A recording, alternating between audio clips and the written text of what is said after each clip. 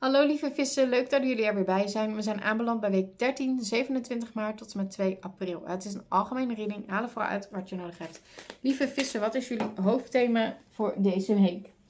Het zelfvertrouwen. Maar wat ik daar vooral heel erg bij voel is jezelf omarmen en van jezelf gaan houden. We gaan eens even verder kijken wat je verder deze week kan verwachten. Wat kunnen de vissen deze week verwachten?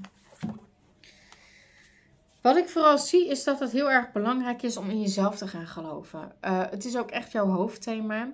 Uh, soms voelt het misschien alsof je machteloos bent of dat je dingen niet kan.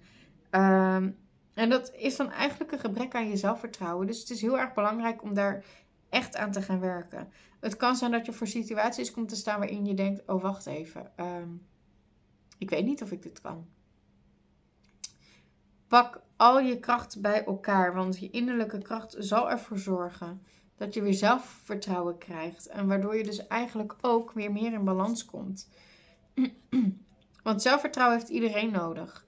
En uh, het is dus heel erg belangrijk om liefde te geven aan jezelf. Dus neem de tijd om liefde te geven aan jezelf. We gaan eens even kijken, lieve vissen, wat voor mooie boodschap ik jou mag meegeven. Ik ervaar innerlijke vrede als ik ben afgestemd op de liefde van het universum. En het universum begeleidt mij op elk moment naar evenwichtige gedachten en een liefdevolle energie.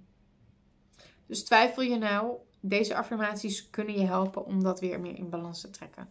Lieve vissen, ik hoop dat je hier wat aan gehad hebt. Ik wens jullie verder een hele mooie week toe. Wil je een één op één reading? Dat kan. Neem een kijkje op www.mediumdaphne.nl of stuur een berichtje naar info.mediumdaphne.nl. Links zie je hier ook onderin.